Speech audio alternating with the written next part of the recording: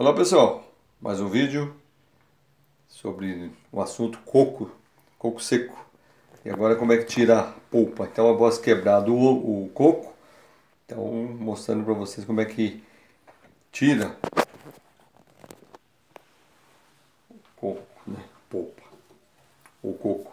Então normalmente quando você está batendo no coco aqui, automaticamente ele vai descolando, claro que não descola totalmente, você vai batendo no coco, ele vai descolando aqui dentro.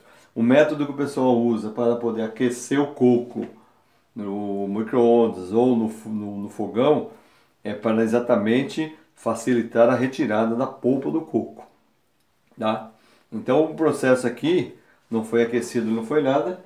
Então depois que eu quebrei, a, que eu quebrei, eu vou pegar apenas uma faquinha, ó, certo? Uma faquinha aqui, ó. Vou introduzir ela aqui, ó Vendo? Devagarinho. E vou forçando aqui, ó. E ele vai sair, ó. Aí. Tá? É isso que vai acontecer. Tudo bem? Então, uma faquinha aqui com um cantinho, né? Vai entrando por baixo que ele vai descolar. Quanto mais novo o coco, claro que é muito mais fácil de você tirar essa polpa do coco aí. Tá bom, pessoal? Então fica a dica aí. Os outros já tirei, ó. Mesmo método, né?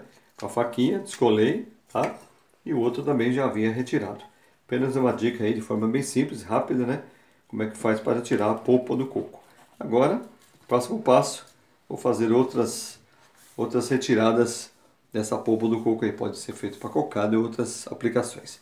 Ok, pessoal? Muito obrigado pela atenção. Obrigado pela atenção. Se inscreva no meu vídeo e, e até o próximo vídeo.